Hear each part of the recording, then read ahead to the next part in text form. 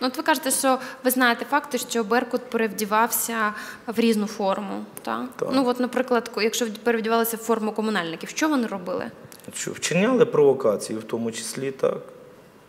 І при тому, представляючись працівниками комунальної служби, да, виконували певні завдання.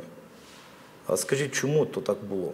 Ну, наприклад, е, вчиняли провокації, це дуже Ну, ну, давайте з 29 на 30 почнемо з того, що комунальники, які завозили ялинку, ви пам'ятаєте такий, такий Так, факт, звісно. да? то це були працівники Беркута. Більше того, Їх перед просто тим, перевділи. Перевділи, безумовно. Перед тим була провокація, яка була там десь до третьої години, коли е, група людей е, з арматурою в руках, ну, їх називають тітушками, так? по певним ознакам. Так, вони пробували е, спровокувати людей, які знаходились на Майдані, для того, щоб вони їм допомагали відбивати два автомобіля. Пам'ятаєте, за озвучкою там були такі автомобілі, Да, да. газелі. Так? О, при цьому, коли е, почалася там в них бійка, е, нам вдалося ну, кількох з них виловити, локалізувати ту бійку. Так? І коли ми їх передали Беркуту, от зверніть увагу, то вони, коли зайшли в стрій, вони там цілувалися, обнімалися, Так? і все, все було настільки просто, і воно є е, в записах, воно є, воно гуляє десь в інтернеті. Ми поскидували практично все, що ми мали з цього приводу.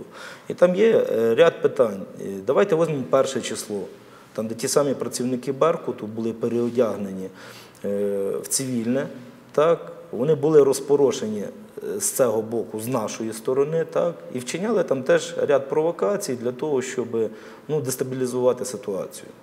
Так, як правило, десь на 80% все, що відбувалося, все, що виходило за рамки мирного протесту, то вчинялося саме цими хлопцями.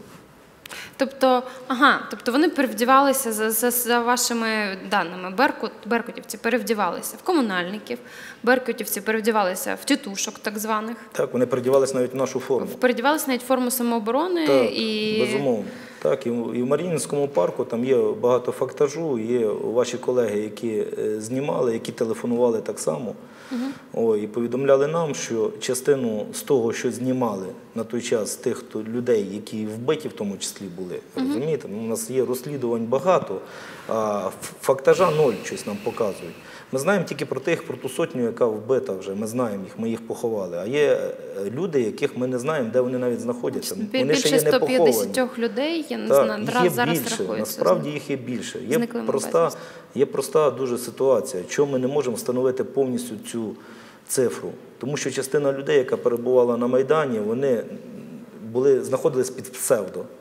Так? Або називали другі імена і фамілії, тому що ситуація на той час була от така, як вона була, ви її бачили.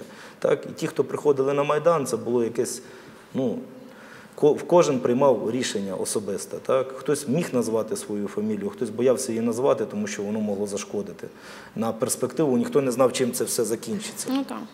І тому у нас є на сьогоднішній день така от проблема. Якби було слідство, якби воно було справедливе, так, то, мабуть, би слідчі мали розказувати про ті факти, які нам от, постійно приносять люди. Да. Є працівники крематорію, які стверджують, що там більше 40 людей було спалено, які ще видавали ознаки життя.